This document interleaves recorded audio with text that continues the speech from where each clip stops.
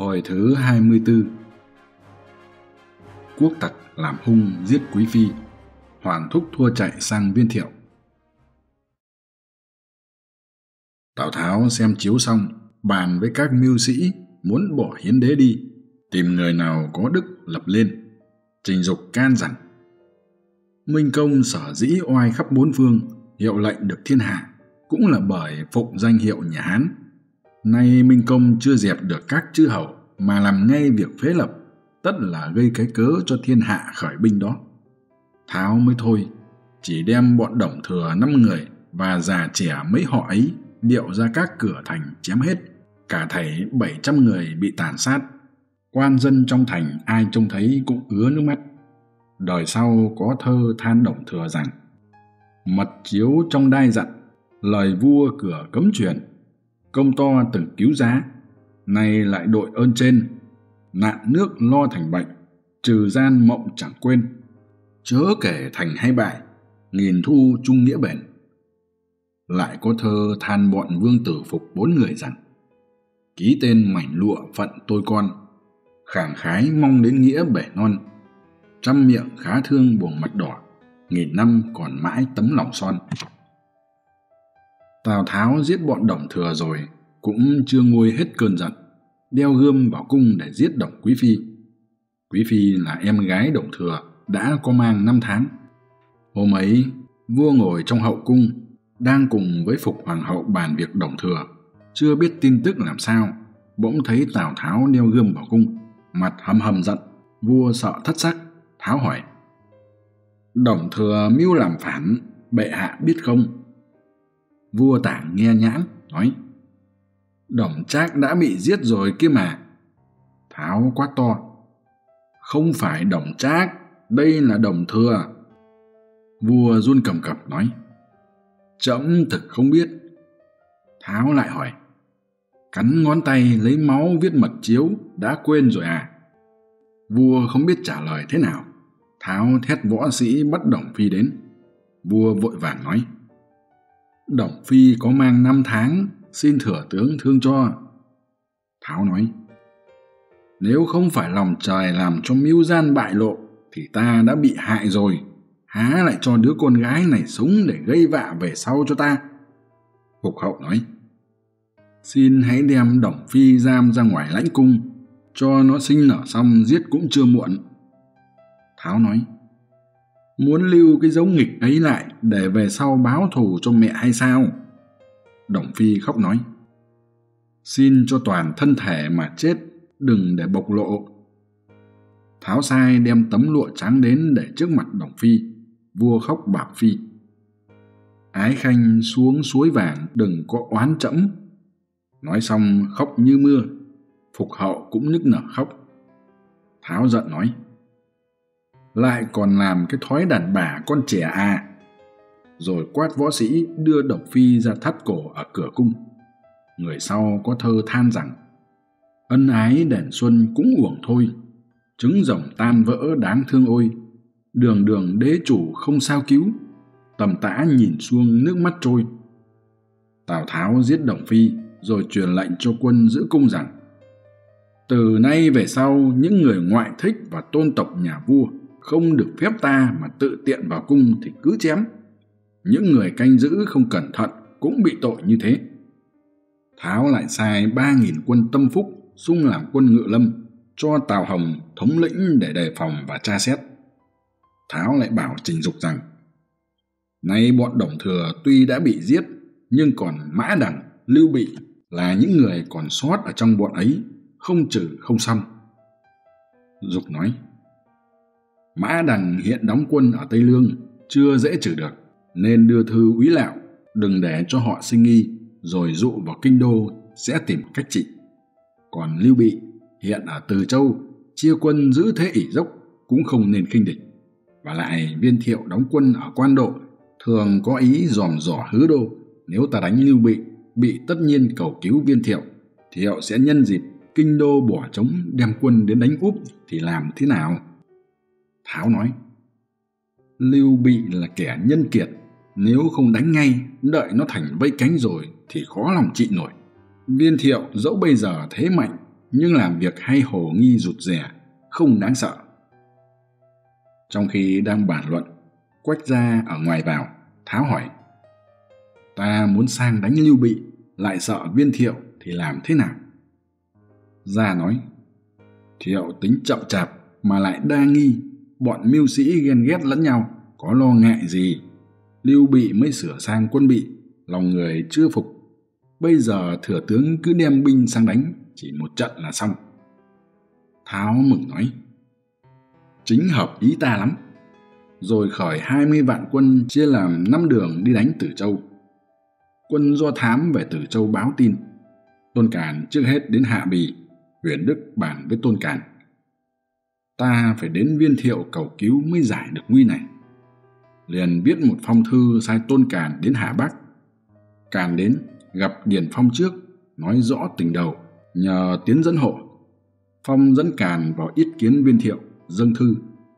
Phong thấy viên thiệu hình dung tiểu tụy, áo mũ xốc xếch bèn hỏi. Hôm nay chúa công làm sao thế? Thiệu nói. Ta sắp chết đây. Phong ngạc nhiên quá hỏi. Sao chúa công lại nói thế? Thiệu nói. Ta sinh được năm con, duy có thằng út là vừa ý ta. Nay bị ghẻ lở sắp chết, ta còn bụng nào nghĩ đến việc khác nữa. Phong nói. Nay Tào Tháo sang đông đánh Lưu Bị, hứa xương bỏ không. Nếu ta cất ngay nghĩa binh thừa hư tiến vào, trên giúp thiên tử, dưới giúp muôn dân, đó là cơ hội không mấy khi gặp. Xin Minh Công xét cho. Thiệu nói, ta cũng biết thế là hay, nhưng trong bụng đương bối rối thế này, sợ đi có điều bất lợi chăng? Phong nói, việc gì mà bối rối? Thiệu nói, trong năm thằng con chỉ có thằng này là kỳ dị hơn cả, nếu có điều gì ta cũng chết mất. Thiệu nhất quyết không phát binh và bảo tôn cản. Ngươi về gặp huyền đức nói rõ duyên cớ như thế, nhỡ ra có điều gì không được như ý, cứ lại đây ta sẽ giúp cho. Điền Phong lấy gậy đập xuống đất và nói, gặp được dịp may mắn thế này, lại lấy nê đứa trẻ bị ốm, bỏ mất cơ hội, khá tiếc lắm thay. Rồi dẫm chân, thở dài đi ra. Tôn Càn thấy viên thiệu không chịu phát binh, vội vàng về ngay tiểu bái trình với huyền Đức. Huyền Đức sợ lắm, nói, như thế thì làm thế nào? Trương Phi nói, Huynh trưởng chớ lo, quân Tào đi đường xa, tất nhiên mỏi mệt. Ta nhân lúc mới đến, đi cướp trại ngay, làm gì không phá tan được. Huyền Đức nói, ta vẫn tưởng em chỉ là một dũng phu, nhưng ngày nọ bắt lưu đại đã biết dùng mẹo. Nay bài kế này cũng hợp binh pháp. Bèn nghe lời Trương Phi, chia binh đi cướp trại. Tào Tháo vừa đem quân đến tiểu bái, lúc đang đi đường, bỗng có cơn rông nổi lên, chợt nghe đánh ẩm một tiếng. Một lá nha kỳ bị gãy, Tháo truyền lệnh cho quân sĩ dừng lại, rồi họp các mưu sĩ hỏi điểm lành giữ làm sao. Tuấn Úc hỏi, gió từ phương nào đến, lá cờ gãy sắc gì? Tháo nói, gió từ mé đông nam lại, thổi gãy một lá nha kỳ, sắc cờ vừa xanh vừa đỏ. Úc tính một lát rồi thưa. Đêm nay tất lưu bị đến cướp trại. Tháo gật đầu, chợt có mau giới vào trình. Vừa rồi gió đông nam thổi gãy lá nha kỳ xanh đỏ, chúa công bảo là điểm lành hay dữ. Tháo không nói, hỏi. Ông nghĩ thế nào? Mao giới thưa. Tôi thiết nghĩ đêm nay tất có người đến cướp trại. Có thơ rằng, ngán cho thế hán đã cô cùng, cướp trại còn mong một chút công, cờ gãy báo điểm cho biết trước, trời già sao tựa đứa gian hùng. Tháo nói, điểm trời đã báo trước, ta nên đề phòng cẩn thận. Bèn chia binh làm chín đội, chỉ để một đội đi lên trước, lập trại bỏ trống, còn tám mặt thì chia quân mai phục. Đêm hôm ấy trăng sáng là mờ, huyền đức bên tả, trương phi bên hữu, chia quân làm hai đội kéo đến, chỉ để một mình tôn càn giữ tiểu bái. Trương Phi tự lấy làm đắc kế, lĩnh quân khinh kỵ đi trước xông ngay vào trại tào tháo chỉ thấy lơ thơ quân mã bốn mặt lửa cháy sáng rực tiếng reo rầm rĩ vì biết là trúng kế vội vàng chạy ra thì đông trương lưu tây hứa trừ nam vu cấm bắc lý điển đông nam từ hoàng tây nam nhạc tiến đông bắc hạ hầu đôn tây bắc hạ hầu uyên, quân mã tám mặt đánh dồn lại. Trương phi sông bên nọ sáo bên kia, che đằng trước, đỡ đằng sau. Quân trương phi vốn là thủ hạ cũ của tào tháo, thấy thế đã nguy, đầu hàng tháo hết. Khi đang xung đột, gặp ngay từ hoàng, phi đánh nhau với hoàng, đằng sau nhạc tiến lại kéo đến. Phi đánh giết mở một đường máu, chỉ còn có vài mươi tên kỵ mã đi theo. Phi muốn về tiểu bái nhưng đường đi nghẽn mất rồi. Muốn sang tử châu hay hạ bì lại sợ quân tào chẹn đường. Nghĩ mãi không biết đi đằng nào, phải chạy về phía núi mang đường. Còn huyền đức cũng dẫn quân đến cướp trại tào. Khi gần đến cửa trại, nghe thấy tiếng reo, sau trại có một toán quân xông ra, chẹn ngay mất một nửa quân mã. Hạ hầu đôn lại kéo quân đến. Huyền đức vội vàng chạy ra. Hạ hầu uyên từ đằng sau đuổi lại. Huyền đức ngoảnh lại chỉ thấy có hơn ba mươi tên kỵ mã chạy theo, muốn chạy về tiểu bái. Đã thấy trong thành lửa cháy ngùn ngụt, đành bỏ tiểu bái, muốn về từ châu, hạ bì. Lại thấy quân tàu khắp núi đầy đồng, nghẽn cả đường đi. Huyền đức không còn đường nào về, bụng nghĩ. Viên thiệu trước có dặn ngộ sau này có điều gì bất như ý thì sang đó mà nương tựa. Hay là nay ta hãy chạy sang đấy tạm làm chỗ nương thân rồi sẽ liệu kế khác về sau. Nghĩ rồi quay ngựa chạy về thanh châu. Đường đi lại gặp lý điển chẹn đường. Huyền đức một mình một ngựa lạc lõng chạy về phía bắc. Những tên kỵ mã đi theo đều bị lý điển bắt mất cả. Lưu bị một mình một ngựa đi ba trăm dặm tới thanh châu, đến dưới thành gọi cửa. Quân canh hỏi tên họ, rồi vào báo với thứ sử. Thứ sử là con cả viên thiệu tên là viên đàm đàm muốn kính phục huyền đức. Nghe thấy huyền đức một mình cưỡi ngựa đến, vội vàng mở cửa ra đón, mời vào công đường, hỏi rõ duyên cớ. Huyền đức kể hết sự tình, đàm mời huyền đức nghỉ trong quán dịch, rồi viết thư báo cho bố biết. Một mặt sai quân mã hộ tống huyền đức đến bình nguyên. Viên thiệu tự đem quân ra khỏi nghiệp quận ba mươi dặm đón rước.